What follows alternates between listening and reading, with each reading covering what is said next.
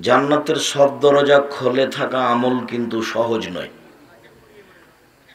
আল্লাহ রসুল এরকম দুই এক জায়গাতে বলেছেন যে, মানুষ যদি এই কাজটা করে, তাহলে তার জন্য জান্নাতের সব দরজা খোলা। তার একটা বলেছেন, কেউ যদি অজু করার পরে বলে, আশহাদু আল্লাহ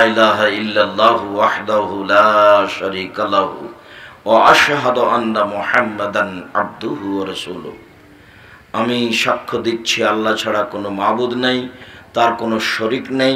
আমি সাক্ষ্য দিচ্ছি মোহাম্মদ আল্লাহর রসুল এবং তার বান্দা, দাস। এইটা যদি কেউ অজুর পরে বলে, তাহলে তার জন্য জান্নাতের সব দরজা খুলে দেওয়া হবে। হাদিস বোখারি মুসলিম। বোখারি মুসলিম বলে আমি যেটা বলতে চাই দিন রাত আপনাকে, সেটা হলো এই, আম গাছে জাম ধরতে পারে, ধরে না। অমাবস্যার রাতে চাঁদ উঠতে পারে, উঠে না। সুঁয়ের ছিদ্র দিয়ে লাঙ্গলের ফল ঢুকতে পারে, ঢোকে না। সুঁয়ের ছিদ্র দিয়ে লাঙ্গলের ফল ঢুকে যেতে পারে, আম গাছে জাম ধরে যেতে পারে, অমাবস্যার রাতে চাঁদ উঠে যেতে পারে, এগুলো ঘটে যেতে পারে। আমি যেই কথা বললাম এতে সন্দেহ আছে বলে কেয়ামত পর্যন্ত চেষ্টা করলে সরিষা ঢোকানো যাবে না, যা বলছি তাই থাকবে। তার নাম বখারি মুসলিম। আর আপনারা এত ব্যস্ত হয়ে পড়িয়েন না।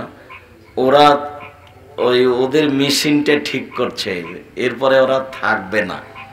আর আমি কথা বলব, আর কেউ এখানে দাঁড়িয়ে থাকবে মেশিনের পাশে। এই সাহস অনেক দূরের। আমি আজও জাতির সামনে এমন কোনো কথা বলিনি যাতে আমি জাতিকে ফাঁকি দিয়েছি। ধর্মের নামে আমি জাতিকে ফাঁকি দিয়ে পরকাল হারাতে রাজি নই। আমি বলেছি, নব্বই সাল থেকে নিয়ে এখন পর্যন্ত আমি কোনোদিন অপ্রয়োজনীয় বাক্য বলিনি।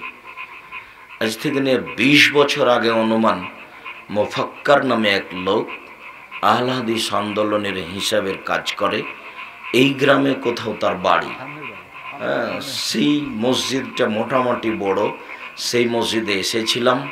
বক্তব্যের বিষয় ছিল খাওয়া ও পান করার নিয়ম। তো বক্তব্য শেষে এক মুরব্বী বলেছিলেন খাওয়াও পান করার নিয়ম এরকম। আমরা তো জীবনে কোনো দিন শুনিনি। তার মানে খাওয়া পান করার নিয়ম মর্মে তার দাবি যে এই মসজিদে অতীতে কোনোদিন এই আলোচনা হয়নি। আর ওইভাবে আলোচনা করার জন্য তো হাদিস মুখস্থ করা লাগবে, অনেক সময়ের ব্যাপার। আবার হাদিস সিরিয়াল থাকা লাগবে, একটা বলার পরে যদি আর হাদিস খুঁজে না পাই, তাহলে তো আর বলতে পারবে না। অন্তত তিরিশ চল্লিশটা হাদিস বলতে হলে এক দেড় দুই ঘণ্টা সময় লাগবে, আর সেটা আবার সিরিয়াল টিকানো লাগবে। অনেক শ্রমের ব্যাপার। তো এখন তো আলেম ওলমার কেসা কাহিনী দিয়েই চলছে, তো ঝামেলা করতে যাবে কেন? এই সহজ নয়। আপনি এক দুই ঘন্টায় তিরিশ, চল্লিশটা, পঞ্চাশটা হাদিস মানুষের সামনে বলবেন, আর ওটা এমনিতে বলবেন, আট দিন লাগবে অন্তত একে টিকিয়ে রাখতে, ঠিক করতে। বলে সিরিয়াল টিকবে না, একটা বলার পরে আর খুঁজেই পাবেন না, আর যে কি বলব, তখন আসসালাম আলাইকুম। আর নইলে তখন কেসা কাহিনী দিয়ে যেতে হবে, কেসা জুই সবজি লেখার শুরু করে দেবো, যেখানে দিয়ে যাক আর যাক, চলছেই তো। কেসা বলে মানুষকে ঘায়ল করা, কান্নাকাটি করা সহজ। মানুষ তো বুঝলো না যে বক্তব্য কি জিনিস। মানুষ মনে করলে, এলাম ওয়াজ, খুলনাতে গেলাম, তো মহিলারা এক ঘণ্টা পরে চলে যাচ্ছে। বলে, কেন? বক্তব্য যে দিচ্ছে না, খালি কথা বলছে। বক্তব্য মানে কণ্ঠস্বরে হতে হবে কিছু। তখন মহিলারা বুঝবে যে এটা বক্তব্য। বুঝুক আর না বুঝুক, কণ্ঠ হলে বলবে যেটা বক্তব্য চলছে। কিছুক্ষণ পরে বাড়ি চলে যাবে। উপস্থিত বৈঠকের দিনই মুসলিম বোন, আপনাকে অনুরোধ জানাচ্ছি। এসেছেন, চট করে ঢং ঢং করে হেঁটে এসে চলে গেলেন, এই স্বভাব দেখাবেন না। আমি আব্দুর রাজাক বিন ইসুফ আপনার জন্য এসেছি। আর এখানে পৌঁছা আজকে আমার জন্য অনেক কষ্টকর, তবু আমি এসেছি। আপনার অল্প ব্যস্ততা আমাকে ব্যস্ততা দেখিয়ে আসলেন, দশ মিনিট থাকলেন, চলে গেলেন, এই ঢং আপনি আমাকে দেখাবেন না। আপনার এই ঢংকে আমি ঘৃণা করি। আপনার বাপ মুসলিম, আপনার মা মুসলিম, আপনি মুসলমানের মেয়ে, আমি আব্দুর রাজাক বিন ইউসুফ আপনার কাছে কিছু দিন ধর্মের কথা বলতে এসেছি। আপনি এখানে কয়েক ঘণ্টা অপেক্ষা করবেন নির্দ্বিধায়। আব্দুর রাজাক সাহেব কি বলছেন আজকে দেখে শুনে যাব। আপনি আসলেন, চলে গেলেন মানে? তা করবেন কেন? আপনি কি পেয়েছেন? কি মনে করেন আপনি? ভালো হিসাব। আসলে নারী যাই মনে করুক, রাসুল সাল্লাম ওকে কন্ট্রোল করার জন্য ওর স্বামী নির্ধারণ করেছেন। স্বামী যদি কা পুরুষ হয়, তাহলে বউ কন্ট্রোল হবে না, এই কথাই ঠিক। কতদিন আপনাকে আমি বললাম, চোখ যেভাবে ঘুরে, বউ সেভাবে চলে, তার নাম ক্ষমতা। চোখ যেভাবে ঘুরে, বউ সেভাবে চলে, তার নাম ক্ষমতা। স্ত্রীর সাথে মিলতে পারার নাম ক্ষমতা নয়। যেভাবে বলে, সেভাবে চলে, তার নাম ক্ষমতা। এবং দুইজনেরই আত্মমর্যাদা থাকতে হবে, আত্মমর্যাদা। তাহলে সে নিজেকে রক্ষা করতে পারবে, আত্মমর্যাদার দাম আছে। আত্মমর্যাদা হিসাব করলে মানুষ একটা থেকে আর একটা করতে পারে না। মোহাম্মদ সাল্লাহ আলি সাল্লাম বলছেন, বোখারি, মুসলিমের হাদিস আমি জান্নাতে ঢোকে স্বপ্নে ঘর দেখতে লাগলাম, জান্নাতের দৃশ্য দেখলাম, হঠাৎ একটা ঘর দেখলাম, খুব সুন্দর টকটকে ঝকঝকে ঘর। ঘরের বাহির যদি এমন হয়, ভিতরই বা কত সুন্দর। পাশে একজন বৃদ্ধা মহিলা ছিল, আমি জিজ্ঞাসা করলাম, মহিলা বলতে পারো এই ঘরটি কার? মহিলা বলল, এই ঘরটি উমারের। বলার সাথে সাথে উমারের আত্মমর্যাদা বলে মনে হলো। আমার মনটা চেয়েছিল আমি একটু ঢোকে, ভিতরটা দেখে নি। কিন্তু যখন বলল উমারের ঘর, তখন উমারের আত্মমর্যাদাকে হিসাব করে আমি আর ভিতরে ঢুকলাম না। ফজরের টাইমে সকালে দেখা হয়ে গেল, উমার, আমি স্বপ্নে জান্নাতে ঘুরছিলাম, দেখলাম তোমার ঘর। আমার মন চাইলো তোমার ঘরের ভেতরটা একটু দেখি, কিন্তু তোমার আত্মমর্যাদাকে হিসাব করে আমি তোমার ঘরে ঢুকিনি। এত বড় মানুষের ঘরে ঢুকবো কি করে? তোমার আত্মমর্যাদাকে আমি হিসাব করি, তার নাম আত্মমর্যাদা। এই ছেলে! রাস্তা হলেও যারা তোমরা প্রোগ্রাম করছ, তারা এটা কন্ট্রোল করো। এক পাশ খালি করো, যাতে করে মানুষ সহজেই যেতে পারে। আর যারা প্রোগ্রাম প্রোগ্রামে এসেছেন, আপনাকে যদি সাইকেল নিয়ে মোটর সাইকেল নিয়ে যেতে হয়, কিছু দূর গিয়ে আপনি স্টার্ট দিবেন। আপনি এমনি দিবেন না, আপনার একটা লজ্জাবোধ থাকা দরকার যে আপনার মোটর সাইকেলের শব্দটা তো আমি কষ্ট পাচ্ছি। আপনার একটা ইতস্তবোধ, আপনার একটা মানবতা, আপনার একটা হিতাহিত জ্ঞান, আপনার একটা বোধোদয়, আপনার একটা বোধগম্য থাকা দরকার। অতএব আপনি ওই ওই দিকে বন্ধ করে এই এইদিকে ঠেলে নিয়ে ওদিকে স্টার্ট দিবেন। নিজেকে পশু প্রাণী মনে করিয়েন না। বুঝেও বুঝে না ওরা অন্তর আছে, বুঝে না। দেখেও দেখে না ওরা চক্ষু আছে, দেখে না।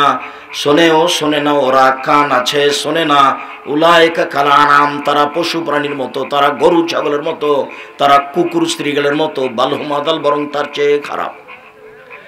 নিজেকে পশু প্রাণী মনে করবেন না। মনে করবেন আমি মানুষ, আমার দাম আছে। আমি গরু, ছাগল নই, আমি বিবেচনা করে চলতে পারি।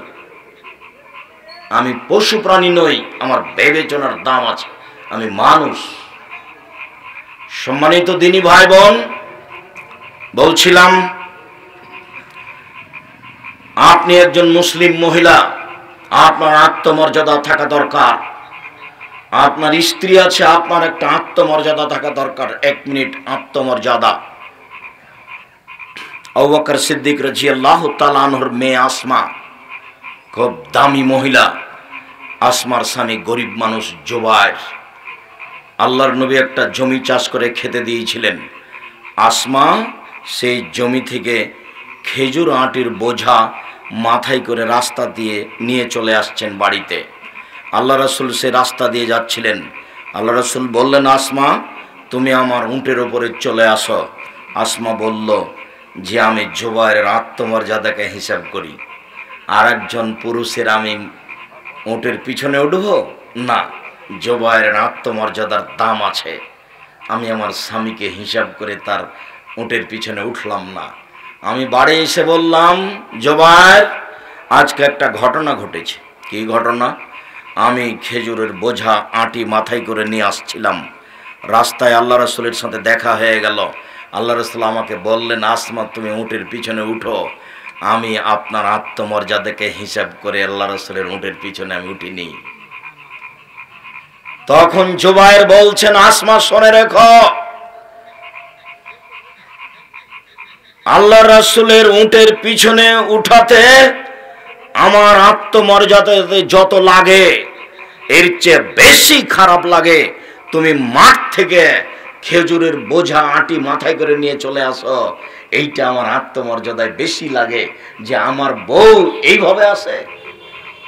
এর নাম আত্মমর্যাদা। আপনার আত্মমর্যাদা থাকলে আপনার বউ বাড়ি থেকে বের হয়ে পাবনা শহরে গিয়ে বাজার করতে পারে? আপনার স্বভাবই খারাপ। আপনি মনে কষ্ট নিয়ে না? আপনাকে আমি পশু প্রাণীর মতো মনে করি। আপনার নীতিকে যদি আমি পশু প্রাণীর মতো মনে করতে না পারি, আমি জাতির সামনে কথা বলব না। হাট বাজার না করে আমরা এদেশে বেঁচে আছি। আমাদের বউরাকে হাট বাজার করা লাগে না।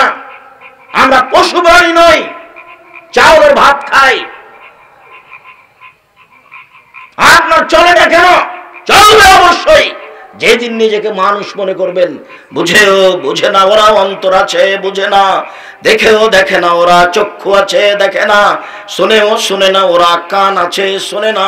উলা উলায়কা কালানাম, তারা পশু প্রাণীর মতো, তারা গরু ছাগলের মতো, তারা কুকুর শ্রীগালের মতো বালহুমাদাল বরং তার চেয়ে খারাপ। কথা আমি বলিনি কথা আল্লাহ তালা বলেছে। বউ দিয়ে বাজার করিয়ে নিজেকে বড় কিছু দেখাচ্ছেন? বই বা কেন বলল? আপনি একটা কাপড় নিয়ে এসেছেন, তখন বলছে, কি যে মোটা কাপড় নিয়ে এসেছ?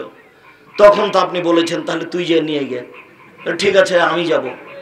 কোন সাহসেও বলে, তাকে এই স্বভাবের হতে হবে। আপনি যাহা নিয়ে এসেছেন আমার কাছে তাহাই প্রিয়। এটা দশ টাকা হলেও আমার কাছে অতীব প্রিয়, দশ হাজার টাকা হলে অতীব প্রিয়। আপনি নিয়ে এসেছেন, এটাই আমার কাছে অতীব ভালোবাসার জিনিস। তখন উভয়ের সংসার হবে সুন্দর। যে অভিমান ক্ষতি করে, সে অভিমান বউয়ের শুনতে হয় না। ওই অভিমান বউকে করতে হয় না। যে অভিমান জাতির ক্ষতি করে, জনগণের ক্ষতি করে, স্বামীর ক্ষতি করে, ওই অভিমান মানতে হয় না। রাসুল সাল্লাহ আলি সাল্লাম বলেন, তিন শ্রেণির মানুষ জাহান নামে যাবে। তিন শ্রেণির মানুষ জাহান নামে যাবে। এক মধুবিনুল খামর, যারা নিয়মিত বিড়ি, তামাক, জর্দা, সিগারেট, গুল, নেশাদার দ্রব্য খায়, পান করে, তারা জাহান নামে যাবে। দুই, ওর রাজলাত মিনের নিশায় পুরুষের বেশধারী নারী, যারা পুরুষের জুতা স্যান্ডেল পরে, যারা পুরুষের শার্ট প্যান্ট পরে, যারা পুরুষের পোশাক পরে, তারা জাহান নামে যাবে। এ কথা আমি বলিনি, এ কথা মোহাম্মদ সাল্লাহ আলি সাল্লাম বলেছেন। আমি অনুবাদক। তিন ও দায়ুস আপনি। দায়ুস কে? আল খাবাসা। যে তার বাড়িতে বেহাইয়ের সুযোগ দিয়েছে, সে হলো দায়ুস। যার মেয়ে নগ্ন পোশাকে স্কুল, কলেজে যায়, সে দায়ুস। যার স্ত্রী নগ্ন পোশাকে রাস্তায় চলে, হাটে, বাজারে যায়, সেই হচ্ছে দায়ুস। আমি বলিনি এই কথা। এই কথা মোহাম্মদ সাল্লাহ সাল্লাম বলেছেন, আপনার গায়ে লাগলে আসে কিছু যায় না, লাগাই উচিত। আপনার গাও ছিলে যাওয়া উচিত। আপনার মানবতায় বাধা উচিত। আব্দুর রাজাক সাহেব এভাবে বললেন, আমি বলিনি এ কথা, মোহাম্মদ সাল্লাহ সাল্লাম বলেছেন। তিনি বলেছেন, দায়ুস জান্নাতে যাবে না। তিনি বলেছেন, পুরুষের বেশধারী নারী জান্নাতে যাবে না। আমি এই কথা বলিনি। অতএব দিনী বোন, আমি আপনার জন্য এসেছি। আপনাকে আমি অনেক ভালোবাসি। আপনি আমাকে উপেক্ষা করার চলার চেষ্টা করিয়েন না। আপনার আমি কিছু না কিছু উপকার করবই করব ইনশাল্লাহ কোনোদিন যদি আবারও পাবনা জেলার কোনো অংশে এসে যাই, তাহলে আপনি আপনার বোন, আপনার ভাই, আপনার আত্মীয় স্বজন দশ কিলোমিটার আশেপাশে যত পুরুষ নারী আছে, এমনকি হিন্দু, তাকেও আসতে হবে, এটা আমার দাবি। কেন? আমি তিরিশ বছর নব্বই সাল থেকে নিয়ে এখন পর্যন্ত কোনোদিন অপ্রয়োজনীয় বাক্য বলিনি। নব্বই সাল থেকে এখন পর্যন্ত আমি কোনোদিন কেসা কাহিনী বলিনি। নব্বই সাল থেকে এখন পর্যন্ত আমি কোনোদিন কোনো মাঝাবকে লক্ষ্য করে কথা বলিনি। নব্বই সাল থেকে এখন পর্যন্ত আমি কোনোদিন সরকার বিরোধী বক্তব্য দিতে যাইনি। নব্বই সাল থেকে এখন পর্যন্ত আমি কোনোদিন মানুষের কাছে পথ খরচ পাতেও চাইনি জাতির যদি রাস্তাঘাট করে দিতে না পারি জাতির যদি স্কুল, কলেজ করে দিতে না পারি, জাতিকে চূড়ান্ত সঠিক ধর্ম দিতে পারব ইনশাআল্লাহ। ধর্মের ব্যাপারে জাতিকে ফাঁকি দিয়ে পরকাল হারাতে রাজি নই। অতএব, কোনোদিন যদি কোনো এলাকায় চলে আসি, তাহলে এলাকাবাসীর কাছে আমার দাবি থাকবে ওই এলাকার মুসলিম পুরুষ নারী তো আসবেন, আসবেনই। ওই এলাকায় যারা হিন্দু আছে, তারাও আসবে। তাদেরও আমি কিছু উপকার করবই করব ইনশাল্লাহ সম্মানিত দিনী ভাই বোন, বলছিলাম যে কিছু আমল আছে, যেটা করলে জান্নাতের সব দরজা খোলা। তার একটা হলো, কেউ যদি অজু করার পরে বলে, আশাহাদু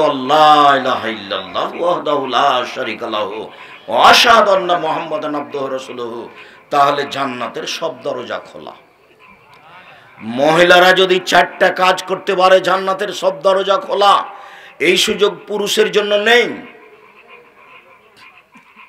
মহিলা বুঝতে পারেনি, তার অধিকার নিয়ে ব্যস্ত আছে। আল্লাহ এবং আল্লাহ রাসুল যে অধিকার দিয়েছে, সে সে ভাবতে পারেনি, আলেম আলমা তাদেরকে বুঝাতেও পারেনি।